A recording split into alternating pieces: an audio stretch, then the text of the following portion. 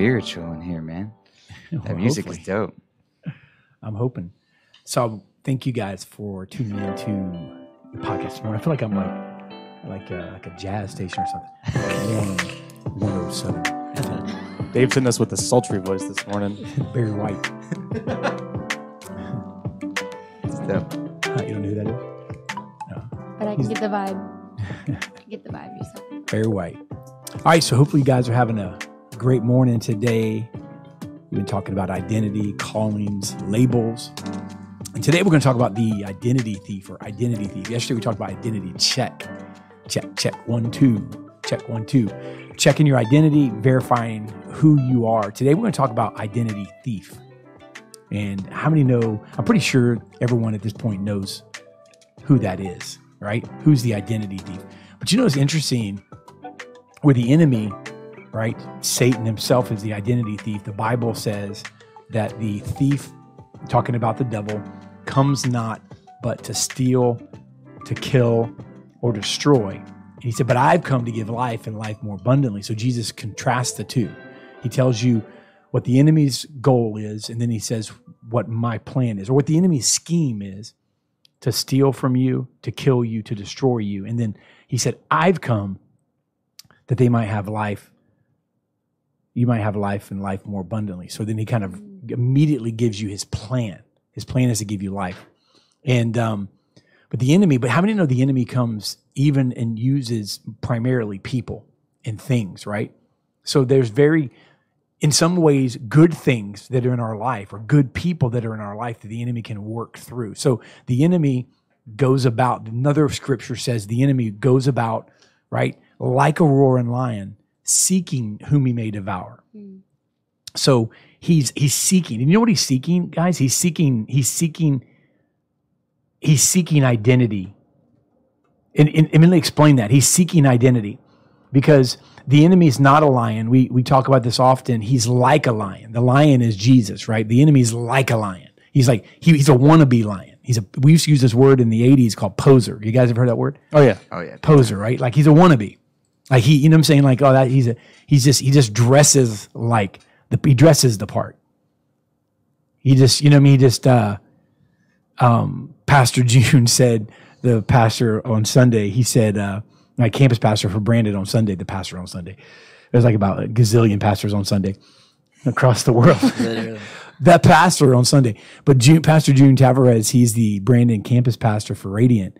You know, he brought he, he it was so funny. And you guys, I don't know if you guys had this in school or not. We did. It was just so funny. He I don't know how old he is. He's younger than me, but it still brought me back to memories where these guys would walk around school. Legit, I got a flashback of a, a, a guy walking around carrying a basketball, like carrying a basketball.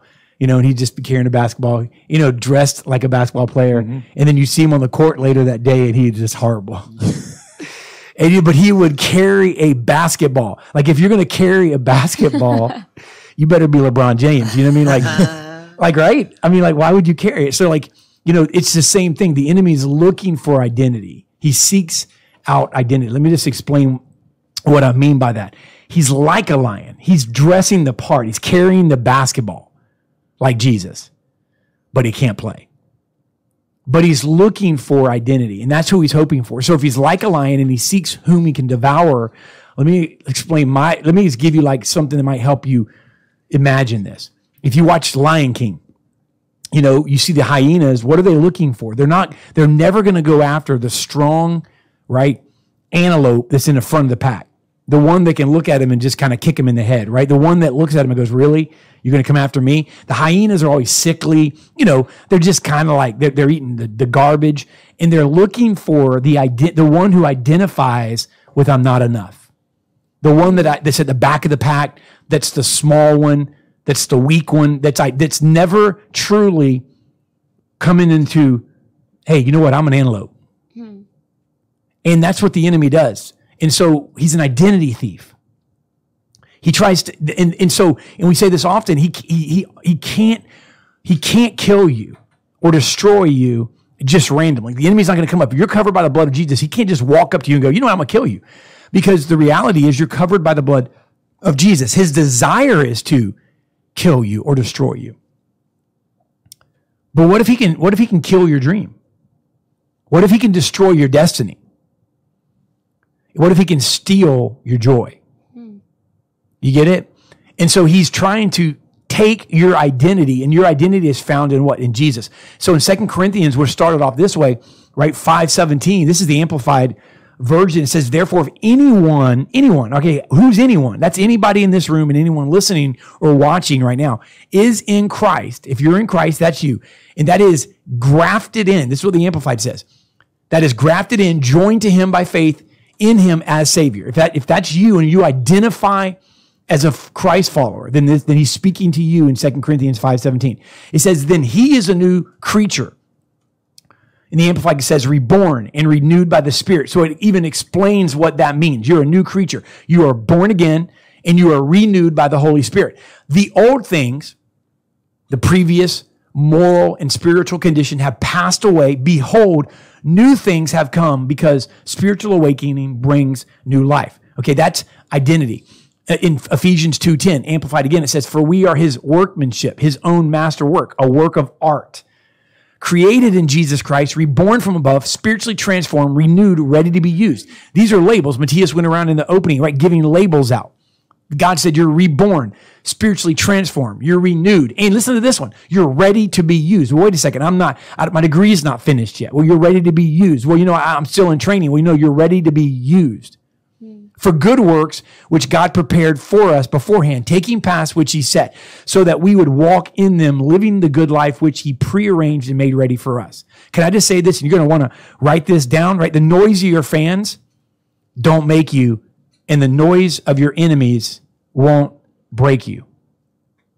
I'm going to say it again. The noise of your fans don't make you, and the noise of your enemies won't break you. It really doesn't matter what label has been slapped on you either way. It matters where you find your identity. And so the identity thief, right, is who we're talking about today. And, and so can I just say this? If you're a believer in Jesus, and regardless of your resume or your pedigree, regardless of your your your your your history, regardless of what ancestry.com or what is that two three and what is it uh 23, 23andMe. 23 and me says, regardless of what your DNA, I don't care what percentage of what you are, what side of the tracks you were born on. I don't care how much money is in your bank account. I don't care what kind of education your parents had. I don't care if you lived in a, I don't care if you lived in a trailer. I don't care if you lived in a, in a, in a, in a houseboat. I don't care if you lived in a mansion. It doesn't matter. If you are a Christ follower, you are called to change the world. Hmm. And I believe that, and we have to buy that. We have to believe that, right? The spiritual attacks that we go through in life are not because you, the enemy wants you to be broker than you are now, right? The enemy doesn't care about how much money you have. What the enemy cares is that you don't do anything for Jesus. And the spiritual attacks that we go through in life are based on who we are going to become rather than who we are currently or who we used to be. I got to say that again.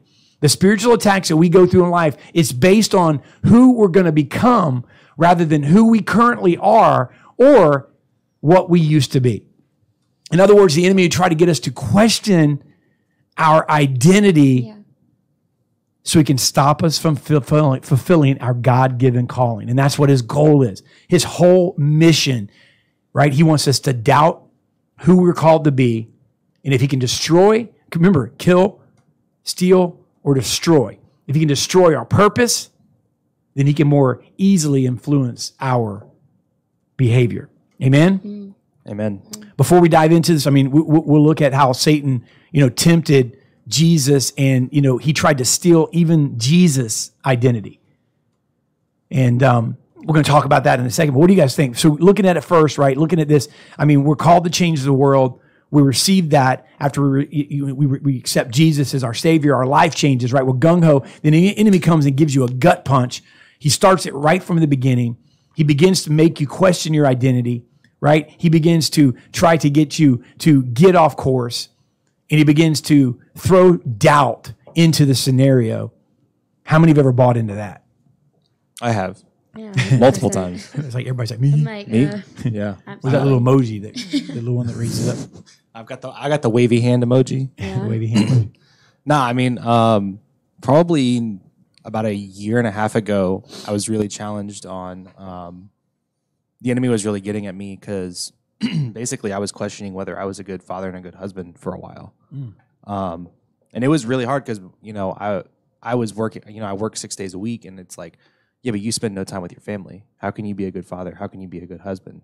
And it really got to me for about a month. Like I was like I wouldn't say I was depressed, but it really got to me for about a month because he was really pushing on that button because that's something I'm very like family is like the most sacred thing to me. Mm-hmm. So that was a really tough one that I went through not too long ago.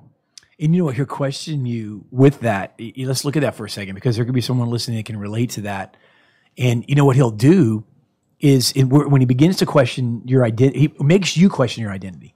He he knows who you are, but he doesn't. So he's he, it's not. You're right. He's not. He's not. Uh, he doesn't believe that's who you are. He knows who you are. He he wants you to question who you are.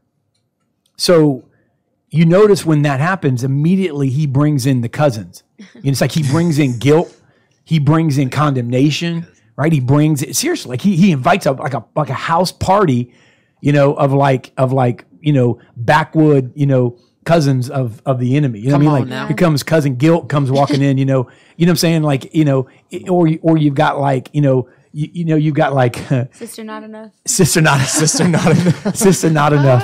That's good. Sister not enough. No one likes sister, not enough. Yeah, yeah, it's just not enough. That's good. Come on, you got, you got anything, Matthias? You gonna let you gonna let her show you up there? Oh, Sister, not enough. You got like She comes up with stuff on the spot. I don't know how she does it. that was funny. you could have do that. What's that thing? That sound effect that you did with uh, Brett walking by in the bathroom that day and getting caught. What was that sound effect? Bruh. Oh, bruh. It's like brother, bro. Brother, bruh. yeah, because I mean, like really, Negative Nelly. yeah, negative Nelly. But you got like brother, bro. You know, because like you know that I can't even say it right. You gotta say it, brother. bruh. There you go. Because you know, and so why, why would because that was like even though it was a joke, it was like he just walked in front of the camera. It's like really, man. It's like you got brother, really, man. You know what I mean? Like brother, brother, Really, man. brother. Bruh. You got those? You got you got you got aunt. We, we gotta be like- I'm- careful I'm here. like, yeah, well, we got aunt. You know, aunt all of my business or whatever. You know, here's the deal. The enemy invites these things in. So when Mike was questioning his family, Uncle Unworthy, Dumasani, That's Dumasani funny. said, Uncle Unworthy. I love it. That's funny right there. I'll tell you what. Don't let your uncle Uh, watch this. Uncle Unworthy. You can read about a Bible app called Family Reunion, and you know, we, we invite all these people in. Ooh, that's so actually a good. good one. Uncle, Uncle Unworthy. That's I like so it. good. I love it. All right. So, but here's the thing. So going back to that, you know, started with guilt. Mike begin to question. You could, so here's the thing. I don't. I don't question whether he's a good father or a good husband. You know, I mm-hmm. see the things he does. I hear what he does. I see when his when his little girl and his wife walk into the office. The enemy knows that you're a good father and a good husband. That's why he's after that. Right. Mm. So he gets you to question whether you're a good father or a good husband. So he's he's an identity thief, man. if he can get you to question the strongest areas of your life, the rest of it's easy for him. Mm. You know, when I've played in churches, and I've obviously talked about this a lot, I'm a drummer. You know, there's times that I've questioned whether being in church and playing drums is really even worth doing it. And that was one of the strongest areas of my life. And like I said, once he can get you to question the strongest areas of your life, everything else is easy and cake. Mm. And I think he did it in the beginning. Like, you know, when you look back to the story of Adam and Eve, mm-hmm. he said, Did God really say? He made her question. It wasn't a matter of like, he said, like, I mean, how stupid would she be if he, a snake just came up to her and said, Hey, eat that? Like, oh no, God told me not to. It wasn't just like a simple command that What he tried to snake give. came up to you? Oh my, I'd run. I'd be screaming. I'd be like, no, first off, you're a snake. Second off, you're talking to me. I'm out. Um, but I mean, he made her question, did God really say?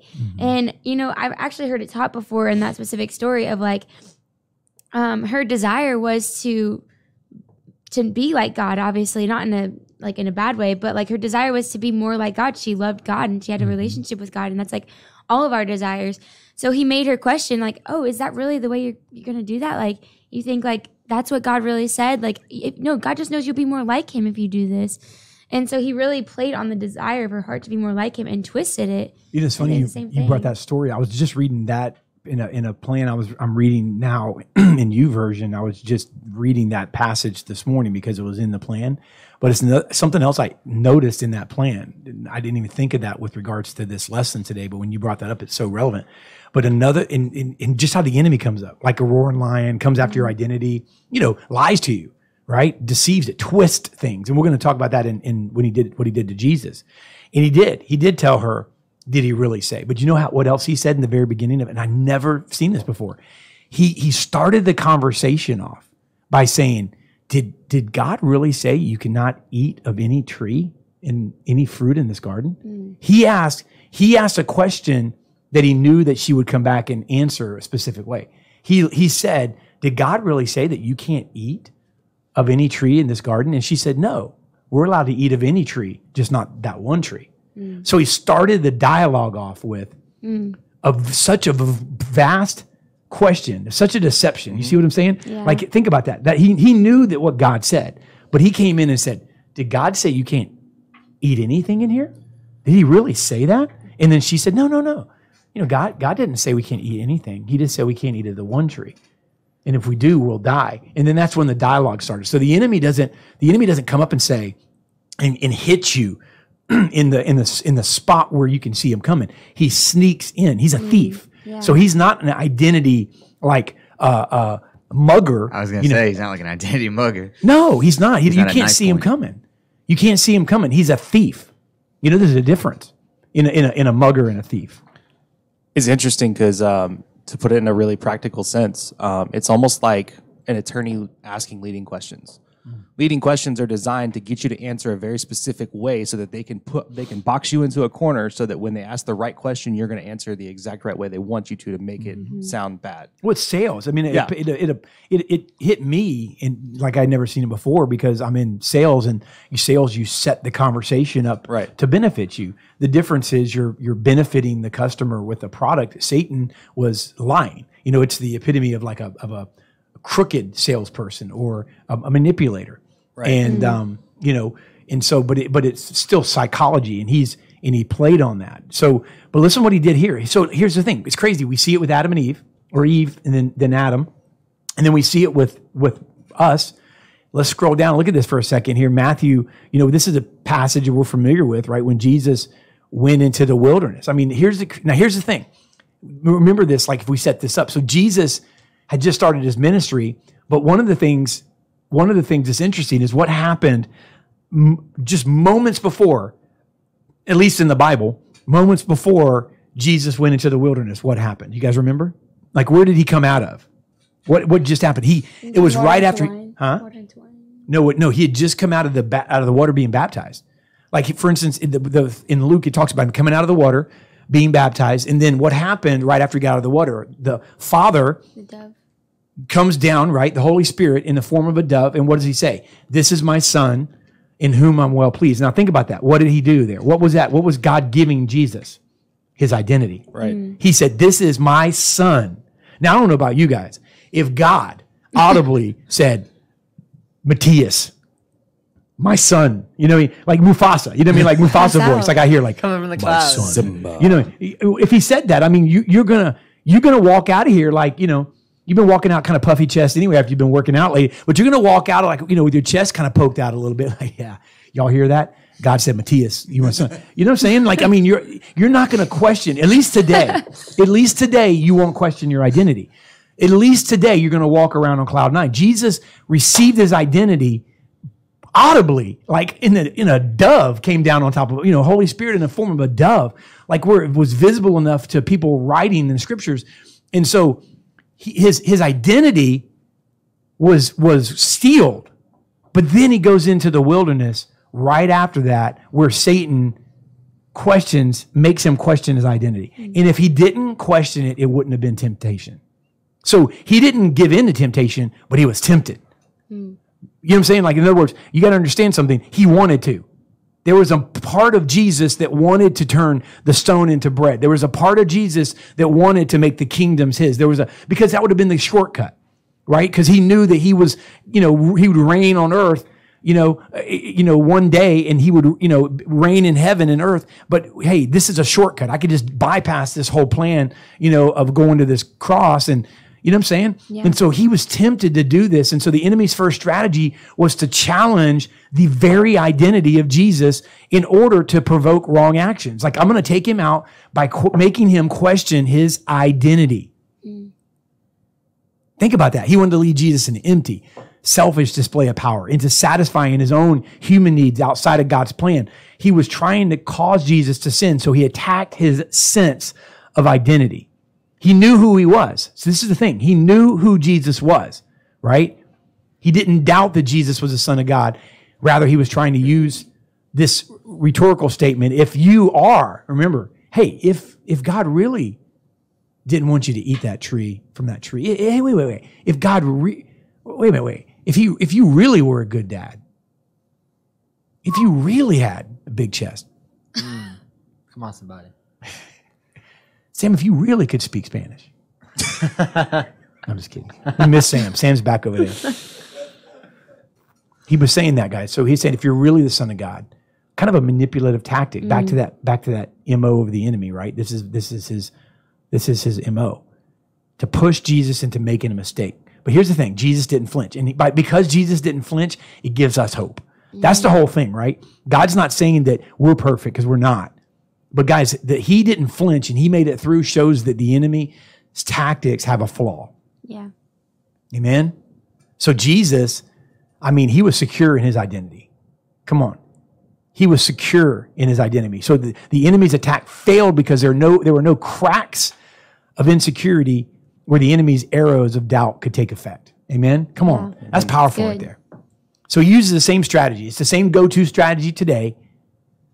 And not because he thinks us we're weak or useless or we're nobody, because he really doesn't care about that. That's the thing we're forgetting. He doesn't care about that. He just wants to destroy, steal, and kill. He doesn't want he doesn't care about how much money you have, about where you're going, how much what your business is doing. He really doesn't care. It's that's too much detail for the enemy to care about because he'd have to care about that for everybody. And he's not God. He's not omnipresent. He's not omniscient, right? He is just one enemy in one place at one time, and he can't do that. He can't do what God does and care about all things at all times. So he doesn't care about the details of you. He just wants you to doubt yourself. Amen. So what do you guys think?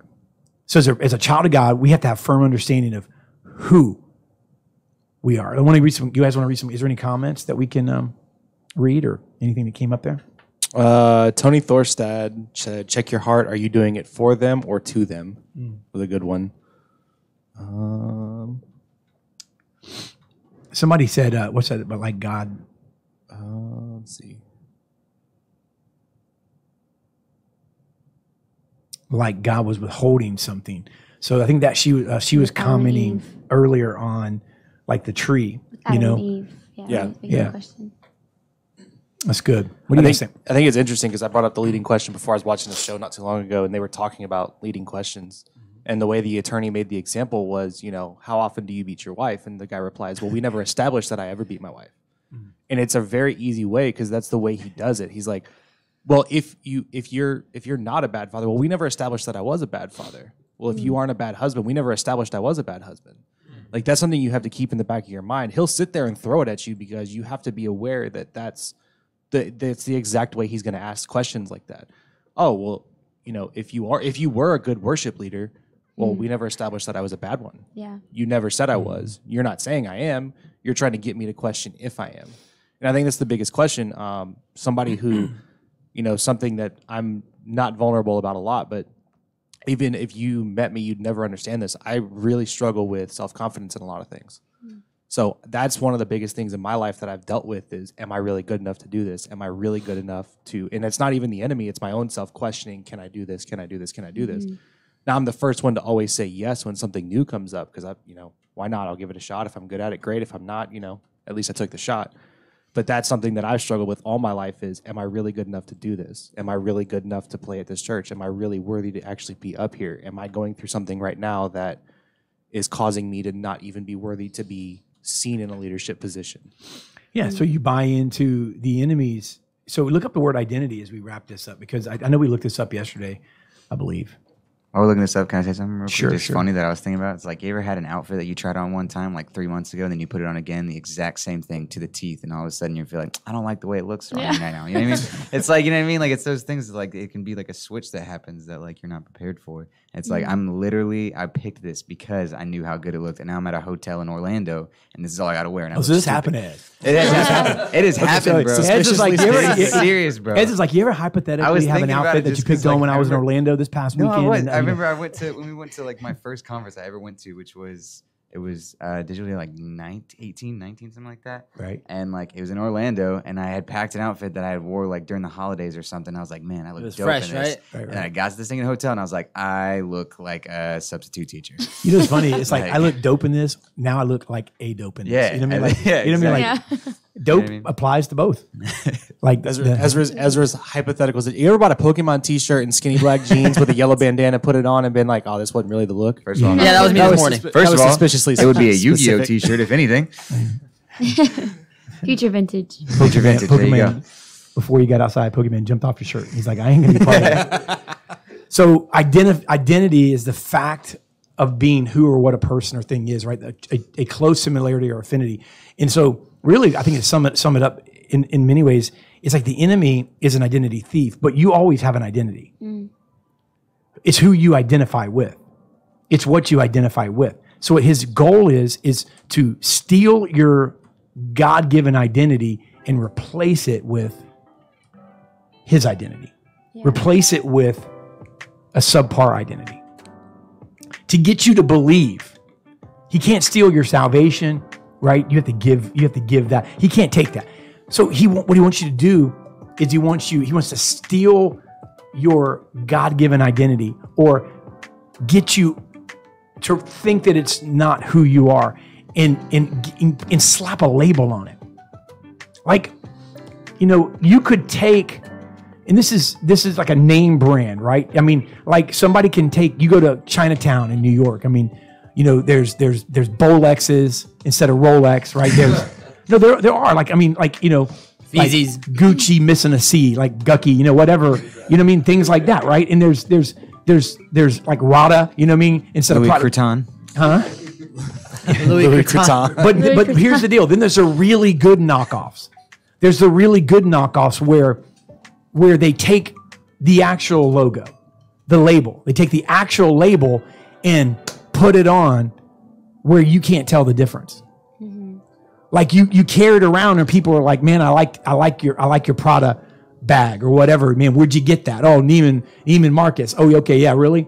Yeah, Neiman Marcus was, was the guy's name on the street. They gave like you know it was you know say, think about it for a second. But it's the label on it. So here's here's the thing. I think uh, you know. So the enemy wants the enemy can't steal your identity. I- he can, but he can cause you. He can cause you to slap a label on top of it. Do you get it? Yeah. Like carrying around a knockoff. I like Dumasami. Nike. Yeah. Nookie. No, oh, that's fine. Go ahead. What were you gonna say? Um, I mean, just to be really practical, I, I know we're running out of time, um, but in um, in Matthew it talks about it says love the Lord, like Jesus said this, love the Lord your God with all your heart, soul, mind, and strength. And that the other day I was reading that scripture and it started to make me think like, okay, that means there's he's identified three parts in in us that have to like we have to make ourselves like aware of. And I was thinking about this, and our pastor kind of talked something similar to this to this, but then I read the scripture and it just like kind of all made a little bit more sense in my mind. But you know, it's one thing to believe in our hearts, like, yeah, I'm a child of God. But like we have to make up our mind, we have to make up our hearts, and we have to make up our souls. Like we mm. have three parts that we have to like make up like we can't our heart i think it can kind of go into that feeling like oh i feel like you know i'm a child of god like i you know life's going good and da da da da mm-hmm. but what's my mind gonna say like when mm. when i don't feel like that that day when i feel like everything's coming against me when i feel like um, you know my identity is being attacked. Like you, i fell short in this area and this happened and this happened. Like we have to make up every part of ourselves. And ex- and it talks about in the bible like tearing down every thought um, that exalts itself above the knowledge of who God is, and I taking taking every cap thought captive. And my brother actually has talked to me about this before about like we put like we see that first thought and it's most likely, you know, because we are human, we have our flesh, like initially take that first cap thought, the ca- uh, thought captive, cap thought. Um, initially take that first thought captive and just revise it and be like, okay, is this thought of God? Okay, you know what? I'm not going to think this, or I am, it is of God. I'm going to think this. And then let that be our reaction. Like, I'm going to continually examine my thoughts, examine my mind, because that's where we're transformed. And that's really what we, when we have a mind that exalts Christ, you know, that comes. Yeah, you, and you know something that's interesting. I know we're, we're out of time, but you know that makes me want to say more because you, you if you take the first thought captive, you you it's- you know to go combat the enemy, combat the enemy, and you know at his game. Mm-hmm. But I mean, I mean, it, combat the enemy's game with God's game, I should say. And here's the thing: take the first thought captive, because if if you take the first thought captive, then there won't be a tenth thought mm-hmm. A lot of times what happens is and jesus didn't do this he didn't entertain the first thought. Mm-hmm. I mean he didn't he took the first thought captive. Then he took the second thought captive. And then he th- took the third thought captive. Every time he came he took it captive. And so it's it's an example to live by. So don't entertain the identity of the enemy. Mm-hmm. And, and and and I know it's easier said than done, but it's a lot better to take the first thought captive than it is to have to come back ten thoughts later. When it's big, a big thing in your life, a big struggle in your it life. absolutely is. You know, it's you and then you take get all the the things that initial. happen. Exactly. Go ahead. Exactly. You're taking the initial thing, um, just the initial thought captive. When you do that, like, if you don't correct something when it's small, it's gonna grow. What you feed grows. What you starve dies.